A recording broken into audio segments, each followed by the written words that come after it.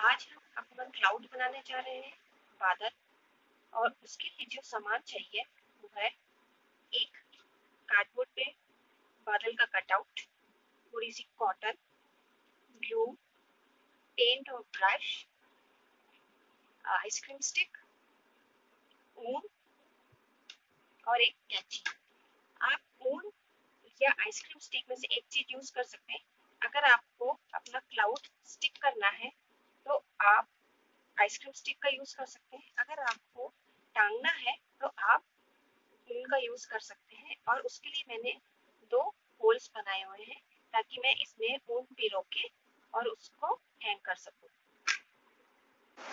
सबसे पहले मैंने अपने बादल के कटआउट को पेंट कर लिया है ब्रश और कलर की मदद से। मैंने ब्लू कलर करा है, आप अपनी मर्ज़ी का कोई भी कलर कर सकते हो। मुझे ब्लू पसंद है, इसलिए मैंने ब्लू कलर दिया। आप येलो ग्रीन पर्पल कोई भी कलर अपनी मर्ज़ी का दे सकते हैं। कलर करने के बाद मैंने कॉटन को छोटे छोटे टुकड़ों में तोड़ लिया है।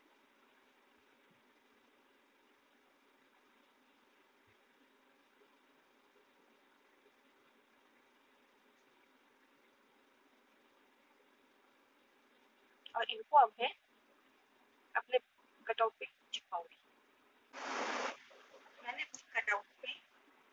लगा लिया है अब मैं इस पे कॉटन चिपकाऊँगी।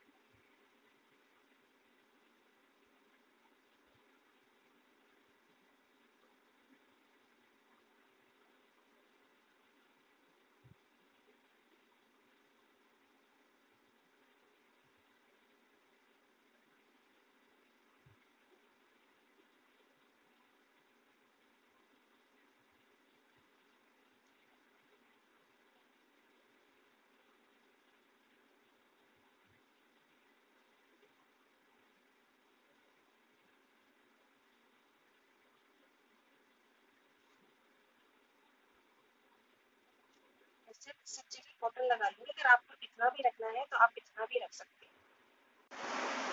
मेरा बादल रेडी है।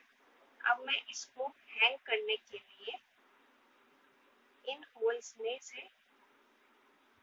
होल को, कोई भी धागा हो, उसको पिरोंगी दूसरी तरफ़ से खींच के निकाल के और एक नॉट बाँध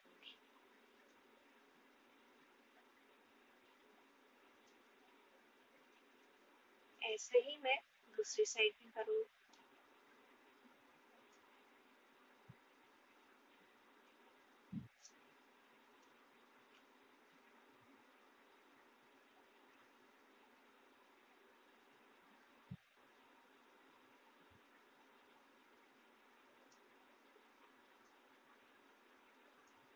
ये मेरा बादल हैंगिंग के लिए रेडी हो गया है।